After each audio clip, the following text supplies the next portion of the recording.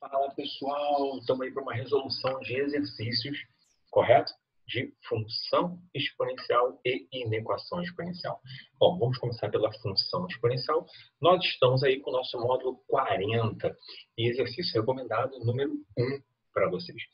Turminha, observa o seguinte, nós temos aí uma resolução já em azul, né?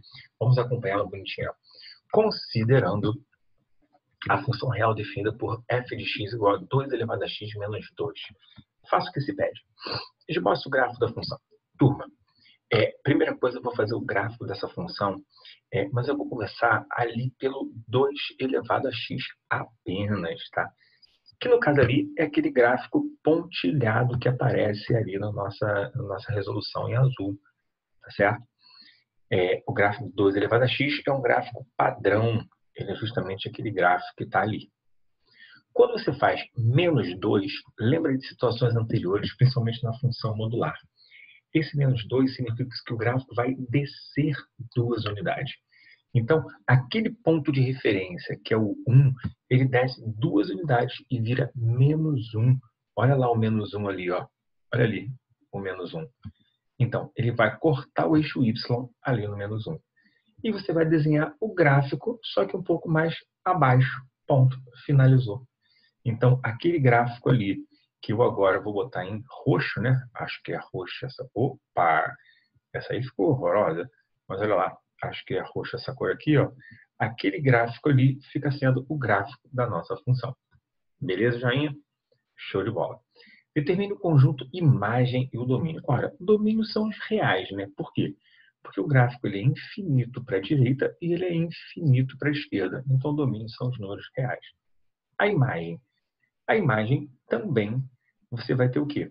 Olha, você tem ali, ó, lembra aquele gráfico em vermelho?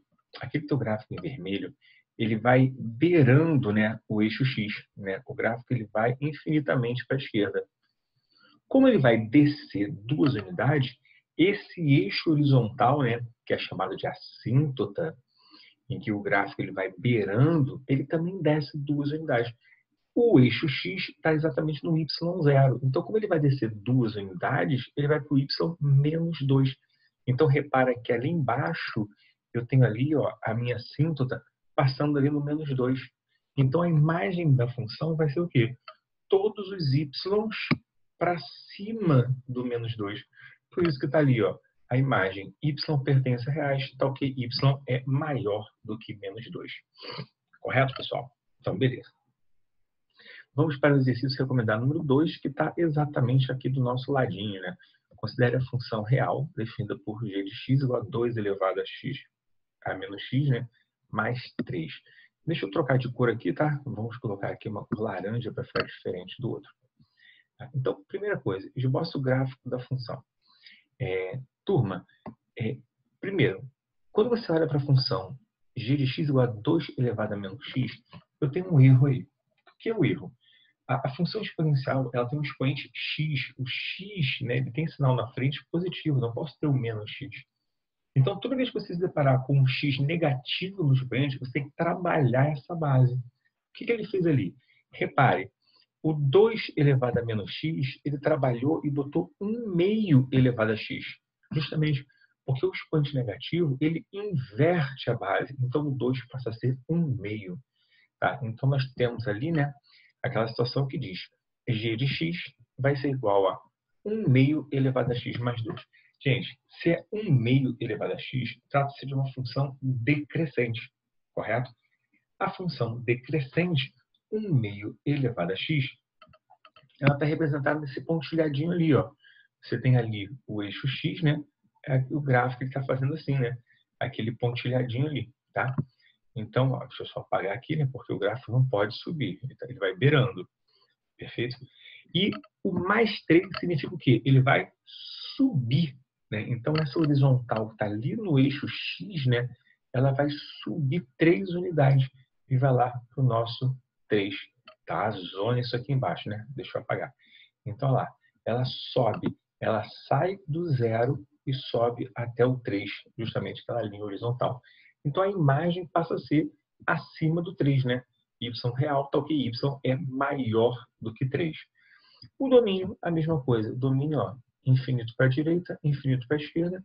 Então, o domínio são todos os números reais. O que, que aconteceu aqui, né? Beleza? E, gente, eu não falei da monotonicidade, né? Mas eu justamente dizer que ele é crescente, decrescente ou constante, correto? Então, eis é uma função decrescente. Bom, a nossa próxima questão a trabalharmos é a questão número 3. Observa 3. Note que ela está com uma resoluçãozinha ali bonitinha para a gente também, tá certo? Então, ó, eu tenho uma função f de x é, que vai ser a mais 2 elevado a bx mais c. Então, ele contou uma historinha ali. Tá, tá feio aquilo, não dá? Tá feio aquilo ali. Turma, essa questão eu não vou fazer passo a passo não, tá? Nós temos aí a resolução. Só para falar o seguinte, ó. É, o gráfico é, de f intercepta os eixos coordenados nesses pontos aqui, ó, 1, 0 e 0 menos 3 quartos. O que, que eu vou fazer? Do mesmo modo que a gente faz com função afim lá, é, quando você tem, passando por dois pontos, você substitui os pontos na função. Então, nesse primeiro ponto aqui, lá naquela função f de x, no lugar do x eu coloco 1, no lugar do f de x eu coloco 0. Então, você vai ter uma equaçãozinha exponencial. Nesse outro ponto, a mesma coisa. No lugar do x, você coloca zero. No lugar do f de x, você coloca menos 3 quartos. Isso vai te gerar, turma, um, um sisteminha, tá? Para você resolver. E aí você vai desenvolver, tá? A resolução está exatamente aqui do lado. Então, você olha com carinho e a gente vai chegar junto nisso aí. Vamos para a questão número 7. Foi um outro recomendado. Eu vou só falar rapidamente com vocês sobre a questão número 7. Turminha, olha a questão 7 aqui. Ó. A questão 7 eu separei porque é de suma importância por causa do expoente menos x, né? Gente, cuidado. É, a primeira ideia que dá é, ah, Leandro, essa função exponencial, a base é maior do que 1. Se a base é maior que 1, ela é crescente. Mentira, gente. Tá? O expoente menos x não pode acontecer. Então, essa função, tá? ela vai ser, na verdade, a função g de x igual a 1 terço elevado a x. Trata-se de uma função decrescente. Beleza, galera? Essa é a observação que eu tinha a fazer para falar com vocês. A próxima questão é a questão 9. A questão 9 está aqui em cima. Está aqui. Ó. Um computador desvaloriza-se exponencialmente em função do tempo de modo que seu valor y daqui a x anos será a que multiplica k elevado a x. Caramba, Leandro, o que, que eu vou fazer com isso? Que loucura! A e k são constantes positivas, ou seja, são números. Se hoje o computador vale 5 mil reais e valerá a metade desse valor daqui a dois anos, seu valor daqui a seis anos será Gente, observa o seguinte, né? não preciso saber quem é o A, não preciso saber quem é o K. Eu preciso fazer o seguinte, é, o valor, ele vai, o computador ele vale 5 mil reais. Daqui a dois anos, ele valerá a metade, ou seja, ele vai valer 2.500 reais. Só que veja bem, isso significa que o computador ele reduziu a metade do seu valor no intervalo de dois anos. Ele quer saber quanto que ele vai custar daqui a seis anos. Turma, você concorda que daqui a seis anos vai ser daqui a dois, daqui a dois e daqui a dois?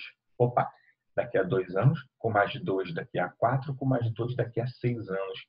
Então, quando passar esse primeiro período, de 5 mil, ele reduz a metade, passa a ser 2.500. Quando passam mais de dois anos, ele passa dali a metade de 2.500, 1.250 50. E depois, quem é a metade de 1.250? 625 reais. Note, opção letra A. Né? A letra A é a nossa resposta. 625 reais. Beleza, galera? Então, em exponenciais, a gente vai ficando por aqui. Tá ok? Então, a gente vai passar agora para inequações. Bom, pessoal, falando em equações exponenciais, nós teremos ali, ó, primeira recomendada, número 1. Turma, inequação é um assunto bem simples, tá? Nós temos ali, ó, π. Quanto vale π? Aproximadamente 3 vezes 14. O que interessa para a gente é, é uma base maior do que 1. Se é uma base maior do que 1, a gente vai resolver a inequação mantendo o sinal da desigualdade. Ou seja, x menos 1, né, que é o primeiro expoente, é maior do que 5 menos x. E aí, ó, desenvolvimento da desigualdade. Vamos partir para a questão número 2. Aí do ladinho, para lá, questãozinha também teórica, né? Nós temos ali a base agora vale 0,1. Note, 0,1 dos dois lados não tem muito o que fazer. Mas sabendo que a base está entre 0 e 1, o que, que eu vou fazer? Eu vou inverter o sinal da desigualdade. Então, aquele 2x mais 5 será maior ou igual a menos x mais 7. Note ali, ó, 2x mais 5 maior ou igual a menos x mais 7. E aí você desenvolve. Nunca esquecendo de botar como resposta o conjunto solução. Bom, depois dessa questão, a gente vai para a questão número 6. A número 6 também, ó, ó, dá uma focada nisso aí, tem uma resoluçãozinha aí também, tá? Mas vamos focar na questão número 6. A questão número 6 está aqui, ó, para gente. Tá? Vamos falar rapidamente sobre a 6. A questão número 6, turma, é uma questão bem tranquila. Eu quero resolver em equação, né? A base é maior do que 1, então basta pegar o expoente menor do que o expoente. Então, bem tranquilinho. A número 7, a mesma coisa, só que a base agora se encontra é, entre 0 e 1. Então, a gente vai inverter o sinal. Então, aquele menos 2x mais 2 será menor ou igual a x menos 10. E aí você desenvolve, né? Dá uma equaçãozinha simples para a gente desenvolver. Tá certo?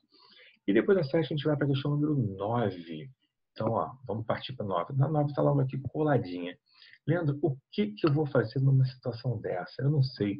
Ali é 0,5 e do lado está 1. Leandro, 1. Não esquece que o resultado 1 é a potência de qualquer número elevado a zero, galera. Exatamente. Então, você vai ter o teu 0,5 que está elevado a 1 menos x, correto? 1 menos x, maior do que. No lugar daquele 1, eu vou botar 0,5 elevado a zero. Todo número elevado a zero vale 1. Ponto. Acabou. Porque a partir de agora, o que, que você tem?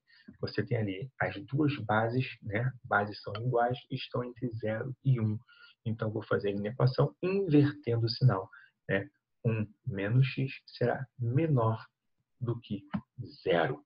A gente vai inverter, vai desenvolver e vai chegar na nossa resposta correta. No caso aqui, fica sendo o quê?